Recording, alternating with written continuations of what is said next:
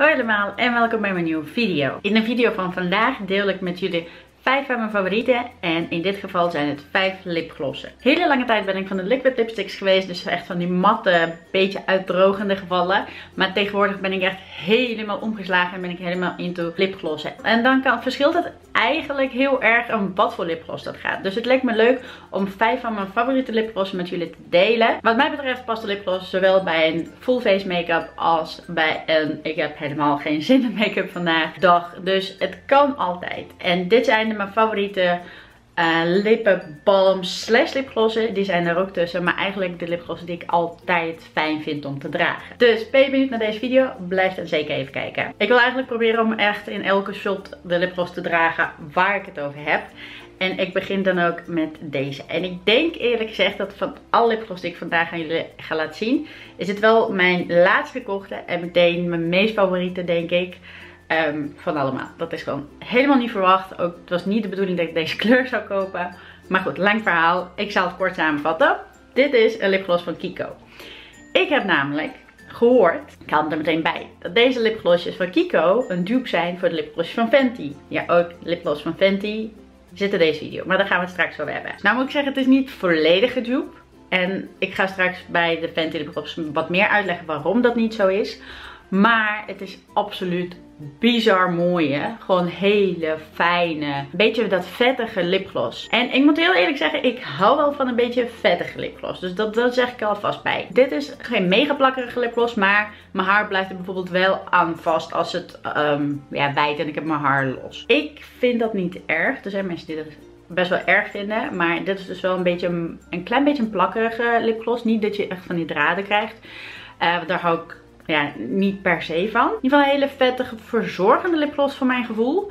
En de kleur die ik heb is nummer 04. Het heeft voor de rest uh, geen naam. Trouwens, hoe heet dit officieel? 3D Hydra Lip Gloss. En het heeft van die hele fijne shimmertjes. Kijk, ik hoop dat jullie het kunnen zien. Echt van die zilveren shimmertjes. En dit is dus nummer 04.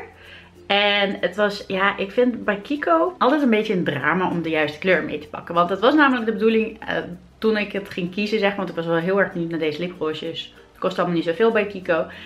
En ik was dus aan het zoeken en de meeste kleuren die ik per se wilde waren op. En zeker van die roze kleur, een beetje peachy kleuren, die waren op. Toen ging ik een beetje voor een beetje beige-achtig, want ik dacht het had heel veel shimmer. En ik hou van shimmer lipglossjes.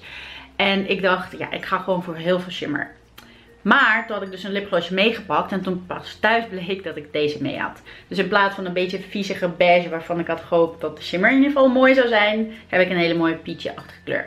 Dus dit is wel echt een aanrader. En ik vind deze ehm, ja, kleur gewoon mooi. Gewoon heel fris staan. En ik moet zeggen, het valt me ook op als ik bijvoorbeeld... Ik draag wel vaker lipgloss. Dat ik gewoon thuis ben. Dat ik naar beneden ga en naar mijn man toe ga. Maar heel vaak als ik deze lipgloss op heb, dan valt het hem gewoon op. En als het hem opvalt, dan betekent dat gewoon wel echt mooi is. En ik moet zeggen, ik vind de shine echt super mooi. Ik vind um, de geur, het heeft een beetje een hele zoet, ja, een beetje zoete-achtige, warmere geur. Niet mega opvallend, wel heel fijn, heel subtiel. Um, glittertjes voel je totaal niet aan. Het is een hele fijne shimmer wat erin zit. Um, maar het geeft eigenlijk vooral de shine. Het is niet zo dat je hem echt voelt. Ik heb ook wel eens een lipgloss van Kiko gehad. Waarvan je de glitters wat grover waren. En waarvan je dus de glitters echt aanvoelde. Maar dat is bij deze absoluut niet. Hij blijft redelijk goed zitten. Over het algemeen blijven lipgloss bij mij sowieso geen een van deze uh, super lang zitten. Maar deze blijft wel redelijk goed. Ik bedoel, na een paar hapjes moet ik hem wel bijwerken. Want dat is bij mij met alles zo. Dus ik ben eigenlijk, en vooral die kleur, ah, echt, ik had niet verwacht dat ik hem zo fijn zou vinden. Maar ik merk gewoon bij mezelf dat als ik ook bijvoorbeeld mezelf ga opmaken en zo.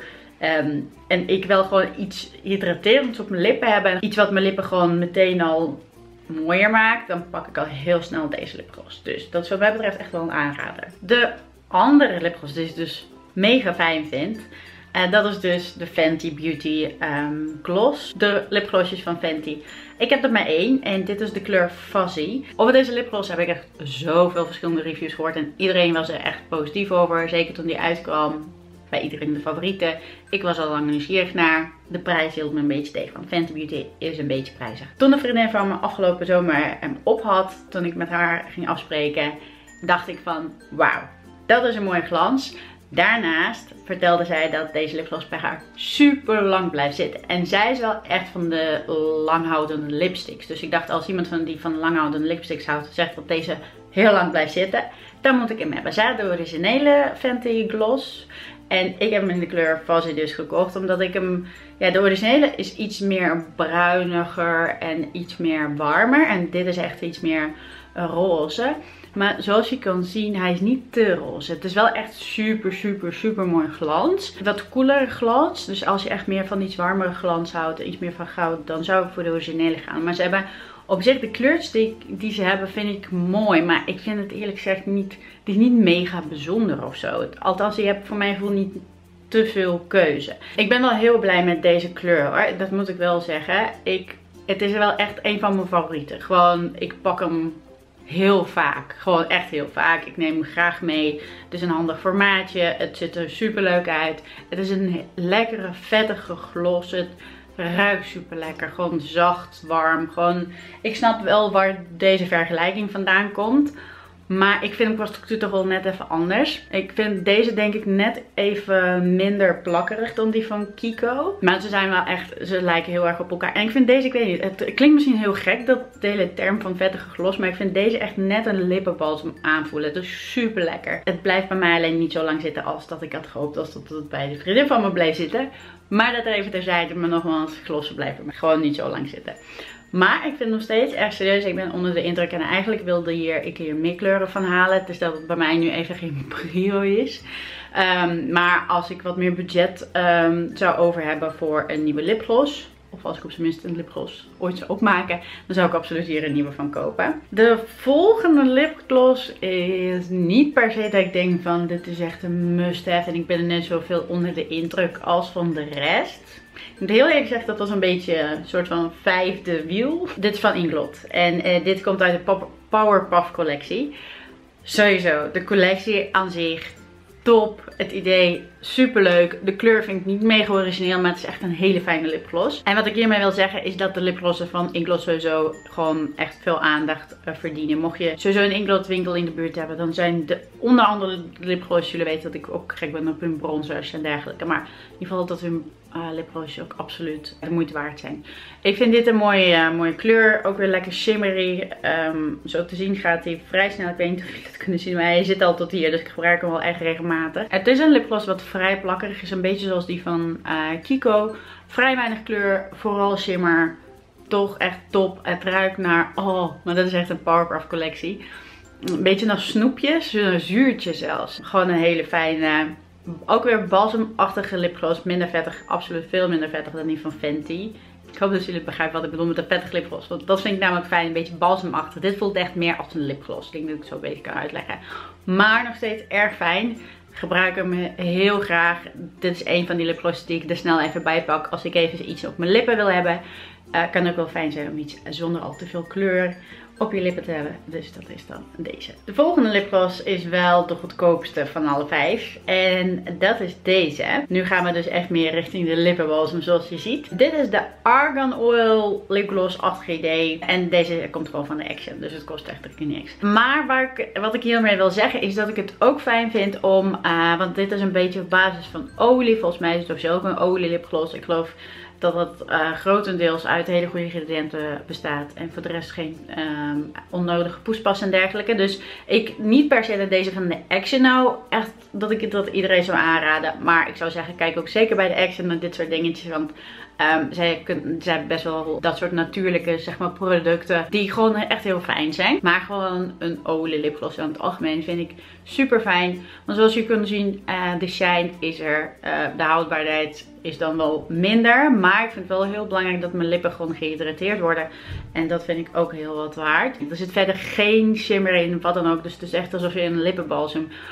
Um, maar dan echt ja, je voelt gewoon echt dat het olieachtig is. Het maakt um, mijn lippen ook absoluut zachter. Je moet er geen wonder of wat dan ook van verwachten. Het is gewoon echt lekker verzorgd. Dat, dat vind ik gewoon lekker. Dat je niet alleen maar, weet je, dat hele mooie van een uh, lipgloss hebt. Maar gewoon dat je lippen ook gewoon verzorgd worden. Want daardoor wordt het vanzelf wel het er mooier uit. Dus het trouwens niet per se een hele... Ja, het is gewoon een beetje een olieachtige geur. En ook een beetje olieachtige smaak. Ik weet een beetje een lippenstift smaken, geur, ik weet niet. Het is niet heel vies of zo, maar ja, het is gewoon voor, zeker voor die prijs is het gewoon echt prima. Tot slot, mijn nummer 5, maar wat stiekem ook wel ergens mijn nummer 1 is. Deze lippenbalsem slash gloss van Lanolips. En dit is met aardbeiensmaak, ik weet niet.